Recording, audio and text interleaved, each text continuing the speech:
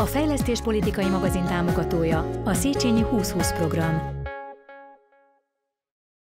Bajai halászlé mellé bajai rétest.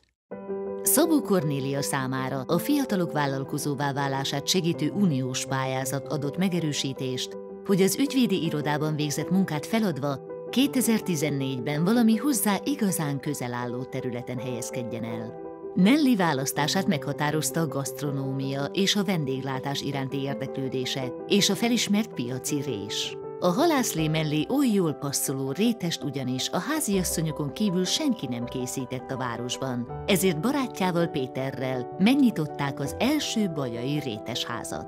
Cukrászokból, pultosokból álló nyolc fős csapatuk újabb Európai Uniós támogatással 2017-ben egy gyakornokkal bővült, és a gépparkot is továbbfejlesztették. 2014-ben indultunk egy uniós pályázaton, a Fiatalok Vállalkozóvá Válása megnevezésön, amit elnyertünk, és végül is a kezdőgép parkunkat ebből a pénzből ennek a pályázatnak a segítségével vásároltuk meg. Ezeket a gépeket használjuk azóta is, és jó választások voltak. A második alkalommal is indultunk egy pályázaton, ez is egy Európai Unió által támogatott pályázat volt, ami keretein belül egy cukrászgyakornokot foglalkoztatunk itt a Rétesházban. Úgy néz ki, hogy nagyon jól működik ez a program így és ügyes cukrászlányt találtunk, nehezen egyébként, nehezen, de megtaláltuk a megfelelő emberünket.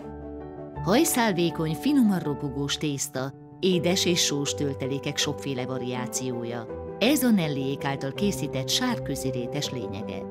A főtér közelében található kis üzletüket egyre többen ismerik. A betérő vendégek mellett munkahelyi és családi rendezvényekre is vállalnak megrendelést. Nelly álma, hogy a vendégei egy tágasabb üzletben majd egyszer leülhessenek, és a réteshez kért tea vagy kávé mellett beszélgetve hosszabban is elidőzhessenek náluk. Én azt a részét szeretem, amikor kisütjük a rétest, és kész a termék, és felszeleteljük, és a vásárlóink elé tesszük.